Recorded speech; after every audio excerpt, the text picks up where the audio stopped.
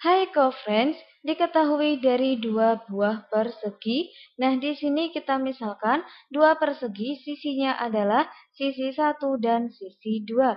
Di mana sisi yang satu di sini kita misalkan 7x cm dengan sisi yang keduanya adalah yang 9x cm. Nah, dari sini untuk mencari pertanyaan yang A adalah jumlah keliling persegi tersebut. Nah, untuk keliling dari persegi adalah dari 4 kali sisinya. Sehingga dari sini jika jumlah dari kelilingnya sama dengan 4 kali sisi 1 ditambahkan 4 kali sisi 2.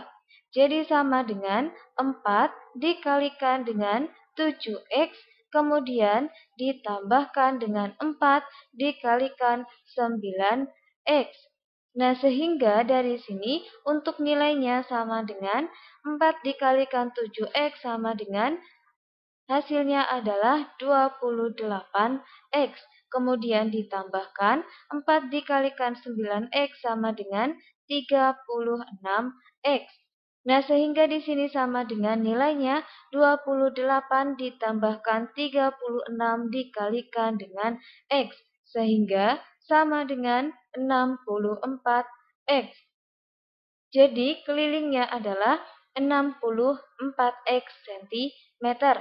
Selanjutnya, untuk pertanyaan yang B adalah jumlah luas persegi tersebut.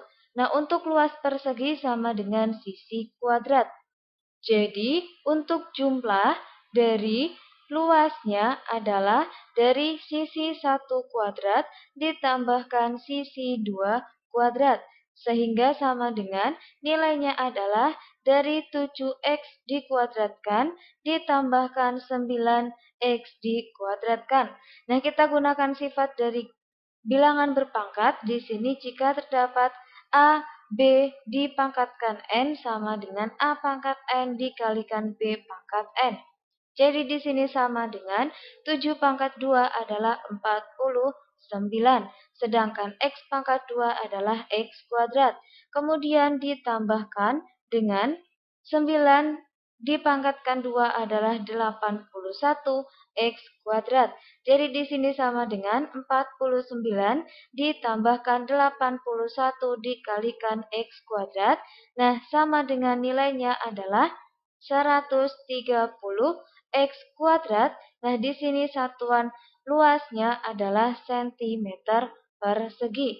Nah, jadi untuk Jumlah luasnya adalah 130 X kuadrat cm persegi. Sekian, sampai jumpa di pertanyaan berikutnya.